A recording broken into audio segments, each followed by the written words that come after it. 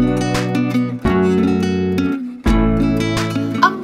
naman na supresa ng popstar royalty na si Sarah Geronimo para sa kanyang fans. Naglabas ulit siya ng bagong kanta na pinamagatang Core. Ang nakakatuwa pa, talagang all out ang suporta ng kanyang mister na si Matteo Bonicelli sa pagbabalik niya sa music industry. Biruin nyo, isa rin si Matteo sa mga nag-compose ng kanyang bagong kanta. Kung mapapakinggan nyo ang kanta, isang upbeat track ang nirelease ng popstar at pagdating sa chorus ay may halo itong Italian lyrics. Ang salitang core ay isang Italian word na ibig sabihin sa Tagalog ay puso. Ang bagong kanta ay tungkol sa pagnanais ng simpleng buhay kasama ang mahal sa buhay. Kamakailan, naglabas si Sar ng kanyang comeback music na Dati-Dati na kung saan ay nakakulab niya ang international music producers na sina Sue Ganade at Dylan Graham.